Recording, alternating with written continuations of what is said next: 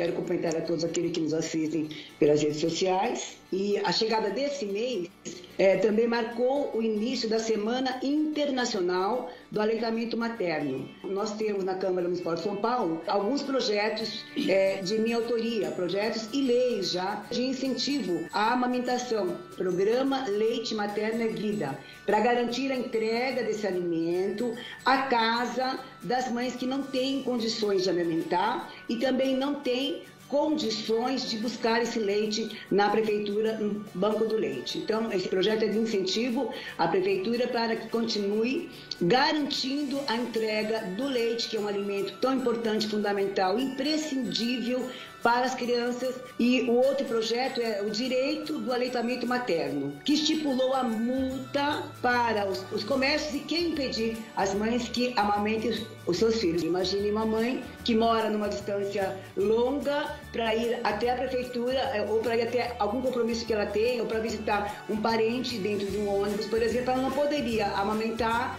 porque seria proibido. Isso é um absurdo. Então, este é outro projeto que é lei que dá o direito do aleitamento materno.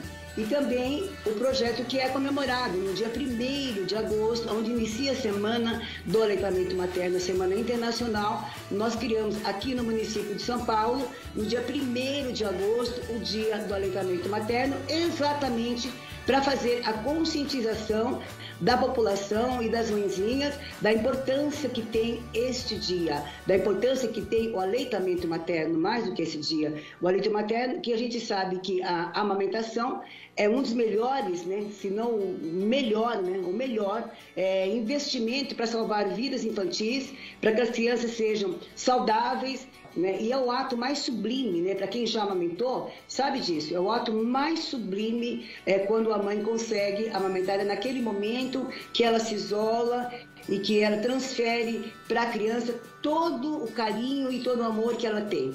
E nós devemos incentivar as mulheres cada vez mais a terem essa atitude, né, para que não fiquem é, com vergonha de estar em público e amamentar o seu filho, para que tenham direito é, a esse leite na sua casa, quem não tiver condições de buscar na prefeitura, no banco de leite, e para que a gente se lembre que tem que ter a conscientização cada vez maior sobre a importância do aleitamento materno. Era só isso por hoje. Conto com vocês.